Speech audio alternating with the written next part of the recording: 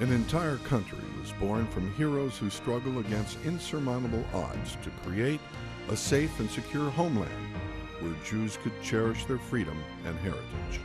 Ordinary people performing extraordinary feats to transform stark desert into a thriving nation.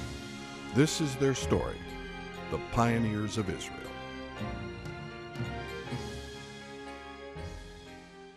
Joseph Trumpeldor served in the Russian military and was recognized as the most decorated Jewish soldier in the army, receiving four medals of distinguished service despite widespread anti Semitism in Russia. Intrigued by the need to defend the Jewish agricultural settlements in Palestine, he immigrated to that country in 1919 and organized the military defense of the Jewish settlements in Palestine.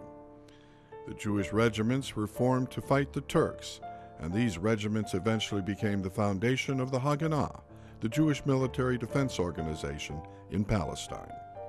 Joseph Trumpeldor was a great hero to the young people in the country, and they were inspired to join him in the Hahalutz program that he created, encouraging young people to make Aliyah, that is, to immigrate to Palestine and participate in the building of the new state of Israel.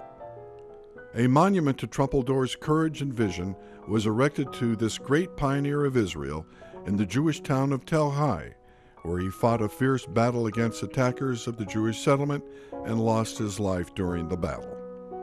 Known today as the Lion of Tel Hai, Trumpeldor's final words are memorialized on the monument.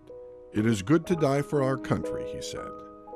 Today, Tel Hai Day continues to be celebrated in Israel on the Hebrew date of the 11th of Adar in tribute to this great Jewish hero. Joseph Trumpeldor, a pioneer who made a difference and helped to create the State of Israel, the Jewish homeland.